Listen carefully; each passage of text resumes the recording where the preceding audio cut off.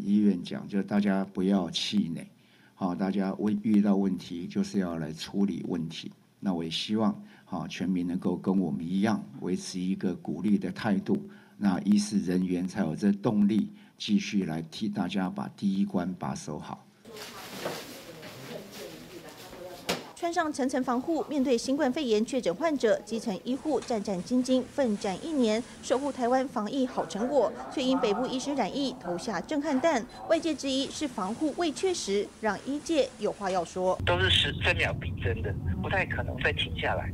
所以在这种情况下，本来就是有一定的风险，所以医生其实压力是很大的。如果以八百个案例，每一个人要住住院大概二十五天，算起来是有两万个人日。的照顾期才发生这么一次，还要苛责我，我觉得真的很不能接受了。纵观全球疫情，中国大陆及欧美国家最刚开始确诊患者比例将近四成都是医护人员，显现照护上的高风险程度。没有一个过错是需要去就责的哈，但不可否认哈，六个月的成平生涯，大家其实有一点点放松了，再打一针预防针。我们去年那个那个规格再拉回来。